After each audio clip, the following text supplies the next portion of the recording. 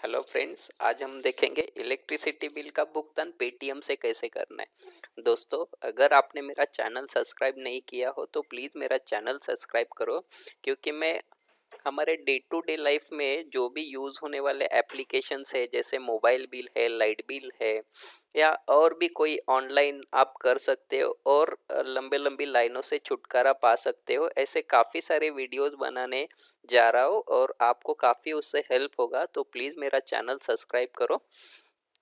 Thank you आज हम देखेंगे इलेक्ट्रिसिटी बिल पे, पेटीएम से कैसे करना है। इससे पहले मैंने ऑलरेडी एक वीडियो अपलोड किया है, जो महावितरण के साइट से पेट इलेक्ट्रिसिटी बिल का भुगतान कैसे करना है। तो आज हम पेटीएम का देखेंगे। तो यहाँ इलेक्ट्रिसिटी है, यहाँ आप क्लिक करो। या इलेक्ट्रिसिटी बोर्ड है तो ये स्टेट आप जो भी है, आपका स्टेट सिलेक्ट करना है या उसके बाद इलेक्ट्रिसिटी बोर्ड आपको सिलेक्ट करना है। मतलब इलेक्ट्रिसिटी प्रोवाइडर जो है, जैसे ये महावितरण है रिलायंस एनर्जी है टोरेंट फार्मा है टाटा सॉरी टोरेंट पावर है टाटा पावर है तो अभी हमारा महावितरण है तो मैंने महावितरण सिलेक्ट किया और बाद में आपको ये सब डिवीज़न या B U B U means आपको बिलिंग यूनिट सिलेक्ट करना है। यहाँ आप बिलिंग यूनिट नंबर डालो, ये एरिया डालो वो अपने आप डिटेक्ट होगा, वो सिलेक्ट करो। उसके बाद लास्ट में कंज्यूमर नंबर डालना है। आपके बिल के ऊपर ये कंज्यूमर नंबर आपको मिलेगा। ये बिलिंग यूनिट भी आपको बिल के ऊपर मिलेगा।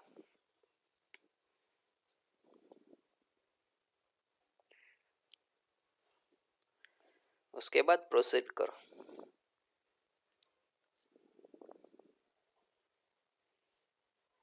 प्रोसीड करने के बाद ये पेज पे आपको दिखेगा आपका बिल अमाउंट कितना है ड्यू डेट क्या है और आफ्टर ड्यू डेट और बिफोर ड्यू डेट वो आपको सब यहाँ डिटेल दिखेगा और ये अमाउंट ये आप वेरीफाई करना ये बरोबर है कि नहीं। उसके बाद प्रोसीड टू पे पे क्लिक करो और यहाँ ध्यान से देखो, ये बाय डिफ़ॉल्ट एक टिक हुआ है ये चेक बॉक्स ये चेक बॉक्स क्या बोलता है? Protect your home content against burglary burglary means तो आपको ये सिलेक्ट नहीं करना है, आपको सिर्फ़ आपके एनर्जी बिल का भुगतान करना है तो आपका यह आप वेरीफाई करो, क्योंकि अगर ये टिक करते हो तो अमाउंट बढ़ेगा फाइव फिफ्टीन हुआ, ये निकालोगे तो आपका जो ओरिजिनल कॉस्ट है वो हुआ तो इसे प्रोसेस करें।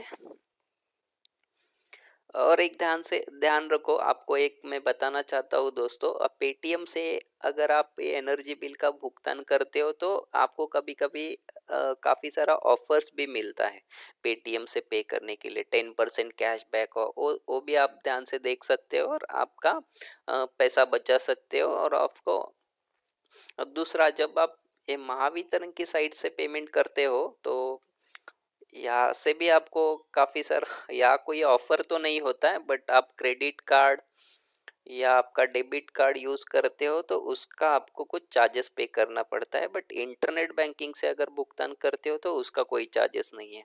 तो यहाँ आपको जो भी आपका क्रेडिट कार्ड है, डेबिट कार्ड है, नेट बैंकिंग है, वो सिलेक्ट करके आप यहाँ से भुगतान करो। यहाँ आपको कोई एक्स्ट्रा चार्जेस पे नहीं करने हैं और ये दो मिनट में आपका पेमेंट हो गया। Thank you for watching this video और अगर आपको ये मेरा वीडियो आया तो प्लीज़, पसंद आया तो प्लीज़ मेरा चैनल सब्सक्राइब करो। थैंक यू दोस्तों।